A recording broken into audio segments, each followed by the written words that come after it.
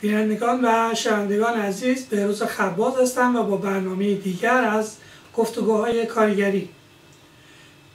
حدود 6 ماه از خیزش های 96 در ایران میگذره. بسیاری از فعالین چه در داخل چه در خارج کشور بر این باورند که اون خیزش ها بخش عمده ای از اعتراضی بود که اخشار تحتانی جامعه حاشیه نشینان دستفروشان و لشکر بزرگ بیکاران در اون نقش ایفا کردند در ادامه اون خیزش ها ما حرکت هایی رو دیدیم از سمت کارگران و از سمت معلمان که در پرتو همون خیزش ها گفته می‌شد اون حرکت ها صورت گرفت به جهت رادیکالیسمی که همراه اونا امروز در کنار مصطفی اسدپور مسئول نشریه, بیکار... نشریه علیه بیکاری هستیم و من به ایشون خوش آمد میگم. متشکرم. خوشحالم از اینکه وقت من قرار دادید. خب مصطفی جان از نشریه علیه بیکاری برامون بگو کی شروع کردی کارشو و آخرین شمارش سین شماره سی یکش در حال انتشار هست. دو سال پیش شروع کردیم این کار رو الگویی که در این مسئله پیش داشتیم الگوی نشریه بود که به همین نام در دوران قیام چاپ شد. در سال 60 آخرین شماره ده شمارش چاپ شد. این یازدهمین شماره دیگه فعالین اصلی نویسندگان اصلیش اعدام شدن. بعد دیگه اون نشین به کار خودش پایان داد. و به علاوه الگوی مهمی که برای من شخصا موجد این مسئله بود. الگوی جنبش بزرگی علیه بیکاری در آمریکا سال 1920 هست هست. که در اونجا حرکات بسیار درخشانی از جنبشکاری دیده میشه. الگوی این که کارگر باید تو کارخونه باشه مبارزات کاری خودش انجام بده. به جای خود اونجا دیدیم که چه سرمایه درخشانی از شورای کارگری در محلات کارگران بیکار مرکز سقل یک حرکت طبقاتی بزرگ و عظیم شدن که قول بزرگی دست راستی سرمایه‌داری آمریکا رو کنارش به زمین زدن و بیمه بیکاری رو تامین کردن به دولت. و اونجا کلا خیلی تاریخ درخشانی هستش و خیلی چیزاش تشابهات بزرگی بین و زندگی و مبارزه طبقه کارگر در ایران وجود داره اون که در اونجا گذشته. و این مصیبت عظیمی بیکاری که در طبقه کارگر در ایران آگفت مثل چنبره رو دستش پاش سنگینی می‌کنه و خیلی جمعه مهمی داره که به نظر من باید بهش پرداخت. کارگری بیکاری موضوعیت عظیم طبقاتی در ایران داره. بخش مهمی از جنبش طبقه کارگر در ایران شکل داده. بدون اون نمی‌تونه جنبش کارگر در ایران برسه زندگی طبقه کارگر به جای برسه. این تو بحران موندنی در 20 سال ازش گذشته بیشتر از این تعمی خواهد داشت.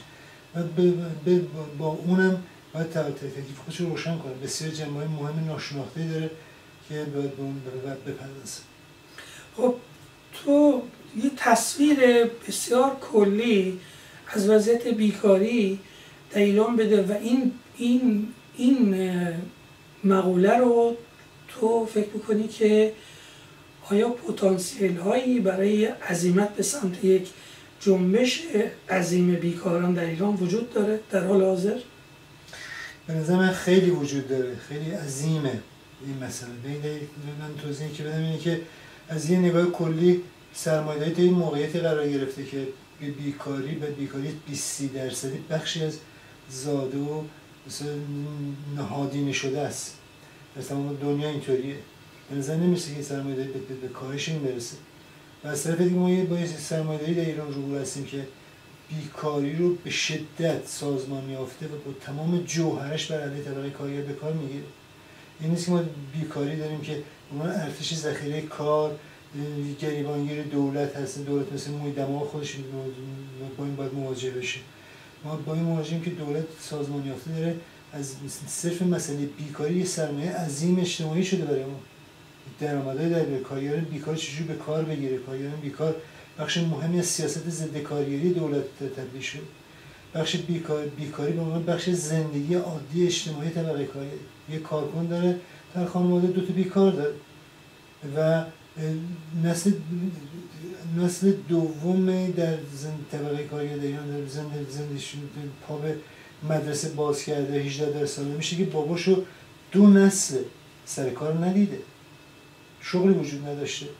دستفروشی بخش مهمی از طبقه کارگر در ایران رو داره تعمین می‌کنه. کار ساختمانی کار خانگی. اصلا کلا ساختار جامعه به جایی رسیده که بدون تعیین تکلیف کردن با با مقوله بیکاری و جواب کلاسیکی که طبقه کارگر از مارکس نمی‌برد بیکاری شده نمی‌تونه به زندگی خودش ادامه بده.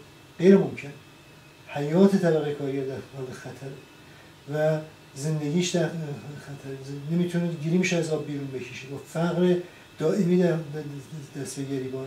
بنابراین از اجتماعی چند چند طبقه کارگر یه, یه کارگر چقدر می‌تونه تحمل کنه که دائما تو جامعه سرکوف بهش بزنه که تو سر بار هستی؟ چقدر باید با از زاویه کارگر از زاویه بیکار بودنش از اون سوراخ نیش بزنن به همه زندگیش به شخصیتش به حرمتش. دست از کار بگیرن نیت دور نیادنش از کار اینا زندگیش رو تامین نکنن. اینا از همونجا هی تحقیرش بکنن و تا این تکلیف پیش صورت بگیره. بدون تا این تکلیف با این مسئله به جایی نمی‌رسه. این در اروپا اینطوری بوده. در کشور دیگه اینطوری بوده. ولی تو ایران کلا اصلا پدیده خود بیشتر باز بکنیم می‌بینید که چه بسیار هیجان انگیزیه کارگر چه پتانسیل بالایی رو برخورداره چجوری می‌تونیم این مسئله خب شنونده ها و بیننده هایی که به این برنامه گوش می‌کنن و می‌بینن ابتدا به ساکن این سوال ممکنه براشون بیاد بگه که خب همه اینا کاملا واضح و مبرهنه. باید اینطور باشه. اما شما بر اساس کدام مکانیسم و امکانات دارین از یک عظیمتی صحبت می‌کنیم به سمت یک جنبش عظیم. به یه جهت حق دارین شما. من فکرم اینکه این, این پایهاش کجاست؟ این ضعف های که مثلا مثلا فرض کنید تشکل‌های که ملزومات این هستش. از ولی به واقعیتی که نگاه بکنیم جنبشکاری به طور عمومی مثلا از این دلیل جنبشکاری ایران یه جنبش پرتپشه. اعتراضات کارگریش از همه جای دنیا بیشتره حجمش نسبت به طبقه به وضع طبقه. ولی سندیکاشون نداره تشکلشون نداره رهبریشون نداره. خیلی ضعفاشو داره. ولی یه پیده عظیمیه پیده پیده عجیب و شیرینیه. شاید تلخی مبارزت کارگری چه بگیر ولی این تپشش رو نگاه می‌کنین دائما در حال جنب جوشه در حال هر سر طرف قرارش میدی بازم توی حالت مبارزه سر در میاره و فرض کنید در مورد مسئله کارگری شما تصور اینو بکنید که سومین کشور در اروپا در تمام آسیا هستش که بیمه بیکاری در پرداخت میشه. یک قیام پدیده که داشتینش که کارگرات پدیده بیمه بیکاری رو تحمیل کرد. بیمه بیکاری معنی است که یک پتانسیل بالایی از طبقه کارگر آگاهیشون میطلبه که با دولت باید طرف بشی باید من حق خودم می‌خوام. این حق طلبی باید بالا باشه.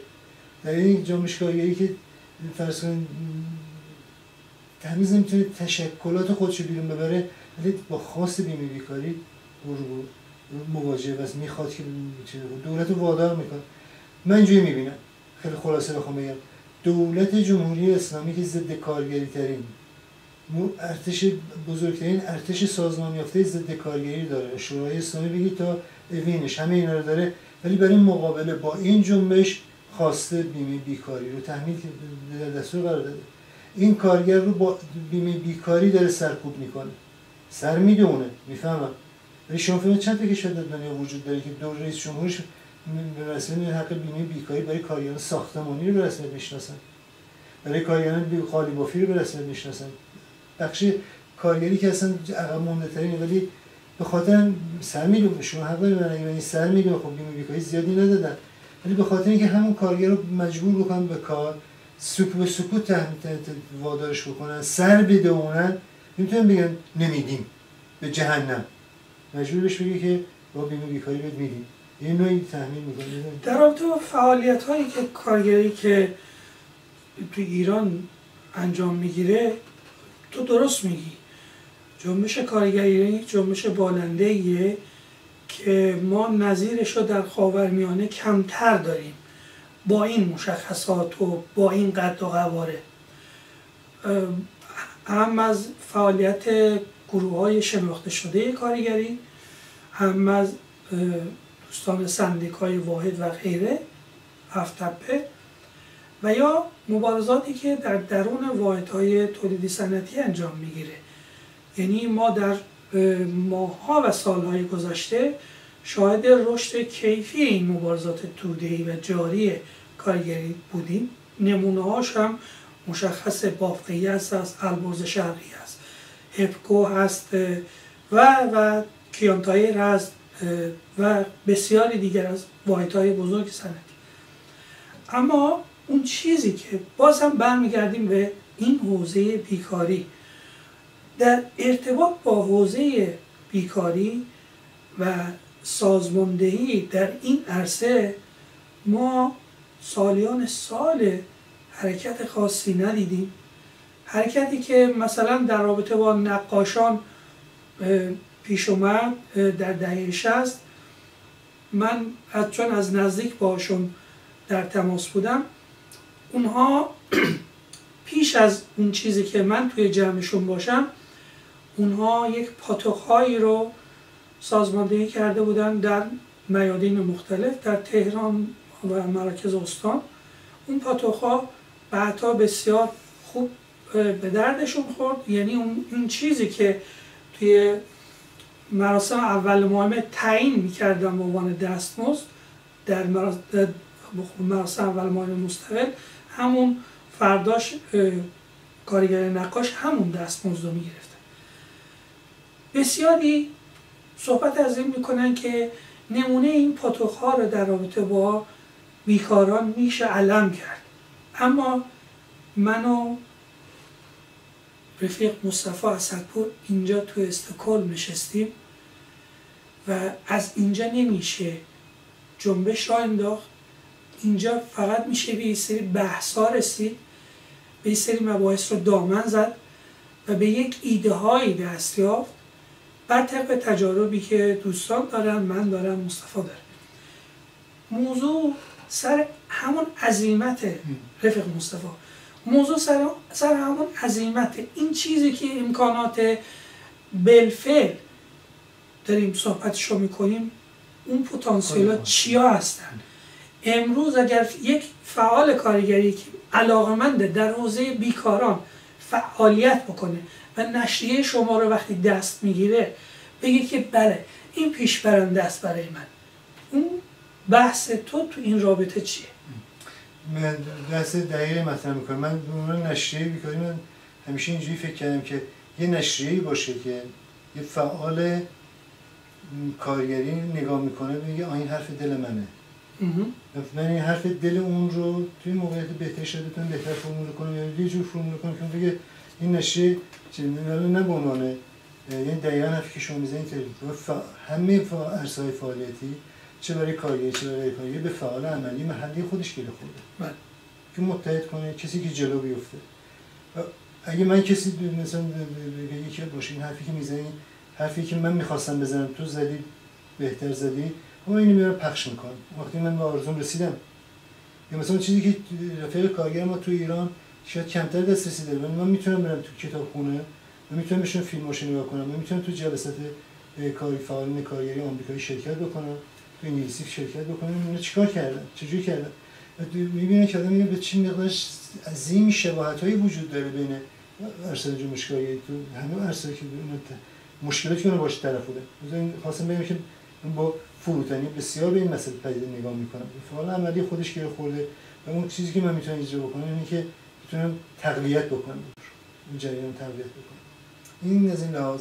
از لحاظ من من فکر می‌کنم جنبش کارگری تو ما یه پتانسیلی که داره همین همین پتانسیل موجود خودش اگه به درستی به کار بگیره اگه به هدر نده به نظر من می‌تونه جلو جلو بره من به نظر من از, من بپرسیم من فکر جنبش کارگری در ایران این مبارزات کارگری در ایران زیادی هندونه زیر بغل شده به این معنی که اینکه مبارزه سیاسیش رو انجام میده این به درست.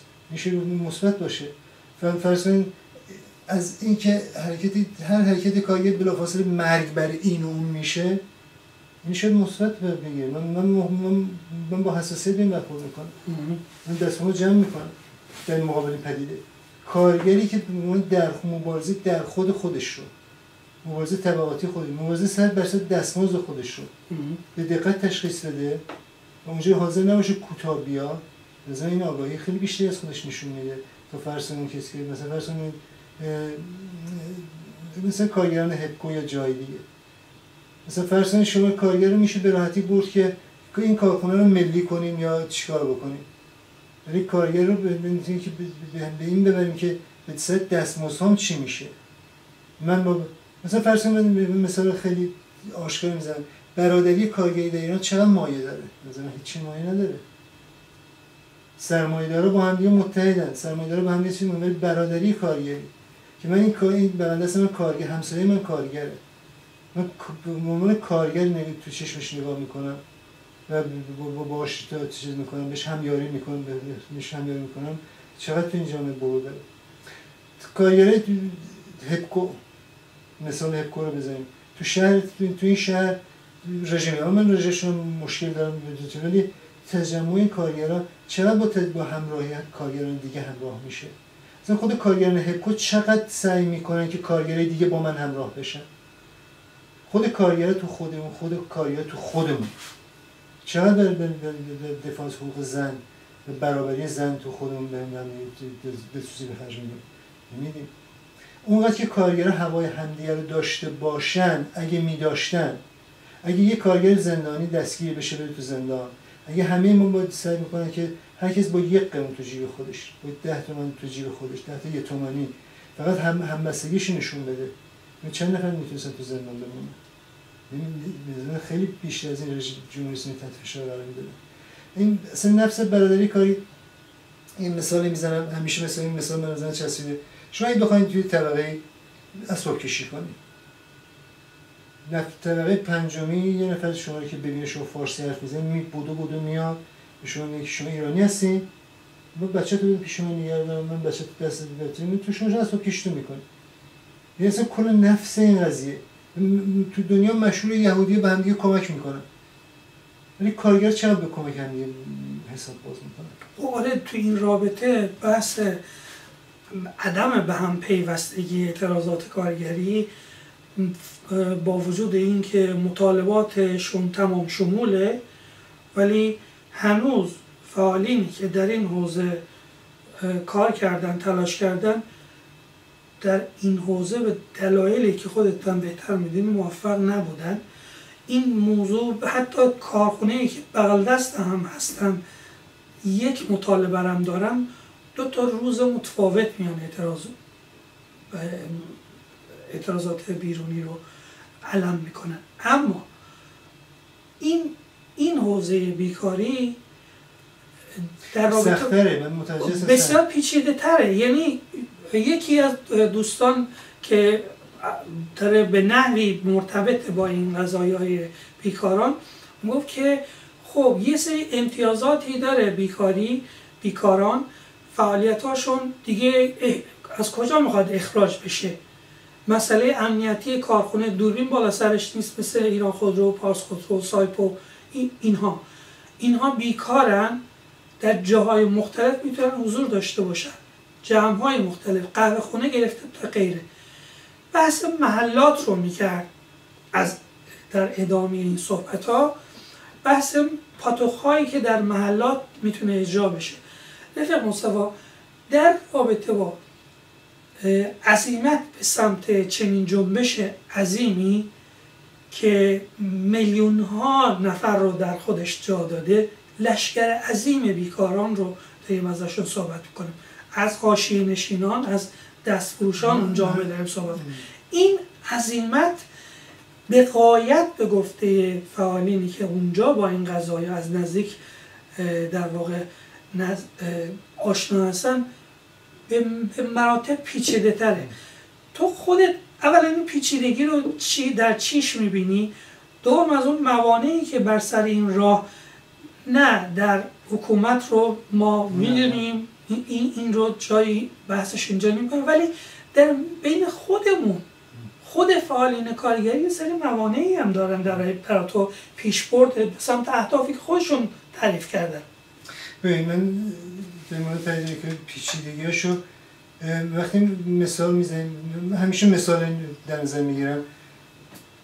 مثال مبارزات کارگر در دوره قیام برای من مثالی است که باید ازش پرهیز کرد. ولی مثالی که برای کارگران آمریکا برای بیکاری هست باید بهش چسبید باید پرستش کرد. اینکه وارد تظاهرات بشیم مرگ بر این و اون بگیم ما به جایی نمی‌تونه برسونه. این حرکت داره چی میشه. این چرا چرا به نتیجه می‌رسه؟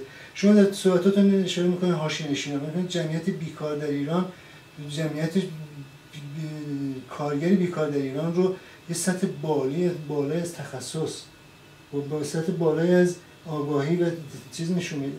بیکاری در ایران در دامنگیر بخش مهمترین بخش صنعتی ایران امروز رو شامل میشه. بیکاری در ایران محلات بیکاری شما محلاتی که صحبت به درستی اشاره می‌کنین بیکاری شامل زنانی رو داره شامل میشه که دارن کارهای صنعتی بزرگی رو انجام میدن. بیکاری در ایران به معنای این هستش که بخش مهمی از اینا دارن کار می‌کنن. محلات در دستن مثلا فرض مثل مثال می‌زنم. شورای محلات آمریکا. شورای کارگری در محلات آمریکا. اینا در, در, در تمام محله می‌گفت دیگه مفادشون این بوده. هیچ کار تظاهراتی بشاد هیچ وقت تظاهرات انجام ندادن. سال یه تظاهرات می‌کردن. ولی تو محله تو محله ما هیچ بچه بدون شیر بیخوابی بدون شیر نمیخوابه. یه حرکته ده نفر دیگه تمام زنان محله موظف بودن همراهی بکنن با هم دیگه میریم از این کارخونه محله شیری که چیز وجود داره. و شیر بچه رو تامین کنیم. ایران چطور این امکان پذیره؟ تو ایران مثلا این چیزی که من میگم مهمترین مثلا این که کسی به این نمی‌پردازه. به این مسئله بیکاری در ایران اینطوریه. یه یه قول هایی هست. مصطفی جان در این رابطه. یعنی می‌خوام بپردازن. این گرهگاه ها باعث میشه به عنوان مثال در رابطه با ما از مدت ها پیش کار شبکه‌ای در جنبش کارگری ایران کار خوبی جواب خوبی گرفت. در کارخانجات کمیته های کارخونه پاسخ خوبی دادن به این قضیه. این در داخل فابریکا و داخل کارخانجات این پاسخ مثبت گرفت. اما در این ارتباط اون گرهگاه هاست که مانع از این میشه. یعنی واقعا من دوستانی بسیار علاقمندم تو این حوزه کار بکنن. گرهگاه مثلا این مثال بازم مثال می‌زنم. شما فکر می‌کنید در شهر سنندج که به شهر مبارزه شناخته میشه چند نفر بیمه بیکاری می‌گیرن؟ 1100 نفر. این شهری با تمام اعتصاباتش با تمام تظاهراتش با تمام سوابق سیاسی سیاسیش با تمام بخش مهمی از جوانای مملکت اونجا میان کولبری می‌کنه آر می‌دونه. فعال کاری خودش آر می‌دونه که برسه. در جلو اداره کار رو بگه. با مسئول اداره کار اونجا صحبت شده. چندی من مصاحبهشون رو خوندم. میگه چند نفر به شما مراجعه می‌کنن بگم بیمه بیکاری ما بده. میگه کسی نمیاد. کسی نمیاد تا جلو داره بیمه بیکاری اداره کار رو بگیره بگه من بیمه بیکاری می‌خوام. ولی کولبریشو میره می‌کنه.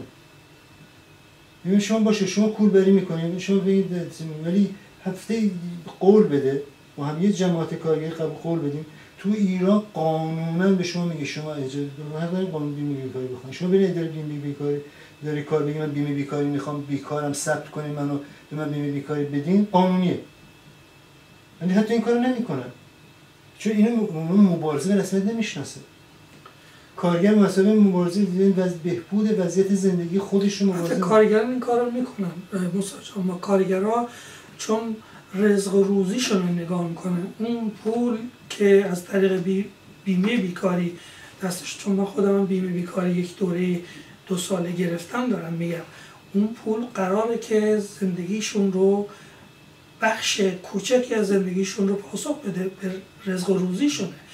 اون کارگر این کار رو می‌کنه کسی که این کار می‌کنه دیگه واقعا بحث من با اون کار نداریم. ولی کارگر که به, به کارش وابسته است و یک روز کار نکنه به زمین و زمان باید پاسخ باشه اون, اون این کار می‌کنه. اما اون چیزی که امروز ما چون به دقایق پایانی برنامه داریم می‌رسیم و به سرعت گذشت من فکر می‌کنم که نکته پایانی رو برای این برنامه بذاریم از طرف تو. بعد بتونیم در آینده برنامه های دیگه از این دست در رابطه با بیمه بیکاری و مکسلات و گرهکاه هایی که در این حوزه هست بهش بپردازیم. بیمه بیکاری به نظر من یه پدیده مبارزه برای بیکاری معنی نیست که بیمه بیکاری رو بتونی از اون بگیری یه پدیده ناشناخته است در یه پدیده پدیده نیست که تو حق خود بدونی. مبارزه برش سازمانی پیدا کرده باشه. اشکال مبارزاتی برش پیدا شده باشه. سنتی وجود داشته باشه. بیکار به معنی کسی هستش که بی... چیز می‌کنه خودش رو ناتوان می‌بینه. و دولت در مقابل خودش خود مسئول نمی‌دونه. سنتی که شما میگین کارگر می‌دونه. ولی من من تو اون جامعه سنتی رو که مسئله که من بیکار شدم تقصیر دولته و باید منو تامین بکنه این حرکت مبارزاتی نیست. سنتش نیست. بی بیکاران باید به چه ترتیبی زندگی خودشون رو تامین بکنن؟ مثلا توی توش کشور مثلا تو آمریکا جایدی مشابه وجود داره. که من میام من, من بیکارم باید زندگی من دولت جلوی دارم داری کار دولته. جلوی کجاست؟ می‌تونم برم بگیرم مثلا یعنی مطالبه بکنم. کسانی که گرسنن کسانی که به اصطلاح دستمزدشون نمی‌رسه. کارگر تنها کسی که می‌تونه به داد خوش کارگره. کجا کدوم محلات ما خیلی شکم گرسنه میخوابن شکم بچهشون گرسنه می‌بینه. ولی کدوم حرکات معین حق طلبانه؟ بگه بچه من گرسنه است من نون می‌خوام. این حرکت در ایران سابقه نداره. عادی نیست. من, من می‌فهمم. تو ایران میره کلیهشو میفروشه. میره قرینه چششو میفروشه. میره حتی به تنفروشی تن میده. ولی مبارزه ای که من گرسنم من بیکار شدم تقصیر دولته. کار به استخونم رسیده من هیچی نمی‌خوام. بیمه بیکاری من می‌خوام این سنتش نداره تو ایران مبارزه برای اینکه مبارزه ضد رژیمی یه چیزی مثلا در مقابل پدیده خیزشا گفتین شما. و این خیزشا با نگاه می‌کنم به این با بدبینی نگاه می‌کنم به این پدیده. به هپکو رو من به بدبینی نگاه می‌کنم. شما مبارزه که بیا که من مبارزه دستمزدم بیمه بیکاریم رو و مطالبه حق زندگی ما می‌خوام این هنوز خیلی ضعیفه توی ایران. کارگر مثلا این که من به عنوان پیده اجتماعی چون شما میگم کارگر بخش زیادش داره کار می‌کنه. کار, کودکان در ایران. مبارزه فردی برای گیریم بیرون کشیدن هست ولی مبارزه که ما کارگر رو با هم می‌تونیم در به درد هم برسیم کم سنتشون نداریم. ناسیونالیسم ایرانی پیده مهمی در این مورد. یه, یه کسی پیدا بشه این مملکت رو فسادش رو درست بکنه این چه تو کارگر نفوذ زیادی داره. بله. ما در این قسمت از برنامه فکر می‌کنم چون دقایق پایانی هم هست قولش رو میدیم که در برنامه های آینده به مقوله بیکاری بپردازیم. دوستانی که علاقمند هستن تو این حوزه کار کردن تجربه ای دارن در رابطه با شورای بیکاران اول اوایل انقلاب. بعدها در ارتباط با حرکت های اعتراضی تجاربی دارن می‌تونن با ما تماس بگیرن و انتقادات و پیشنهاداتشون رو از این برنامه الان تو همین امروز که ما داریم من و رفیق مصطفی اسدپور داریم از مقوله بیکاری داریم صحبت کنیم به منتقل کنن با کمال میل بهشون پرداخته میشه. من همچنان از انتقادات و پیشنهادات شما مسئول میشم و امیدوارم که به این کار خوب ادامه بدیم. شاد و برقرار باشید.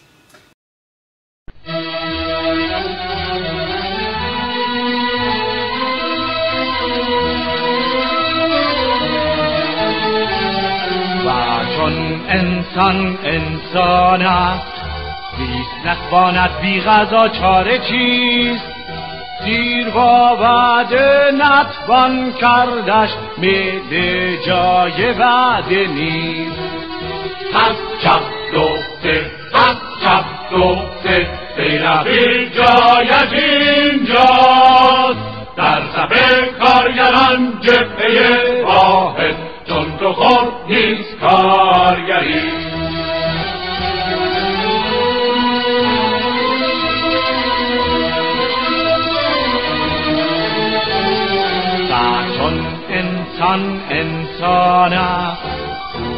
بر تن خواهد کفشی در پا. گرم با وعده نتوان کردش حتی با بوغ و کرنا. پس چپ دو سه پس چپ دو سه ای رفیق جایت اینجا. در صفحه کارگران جبهه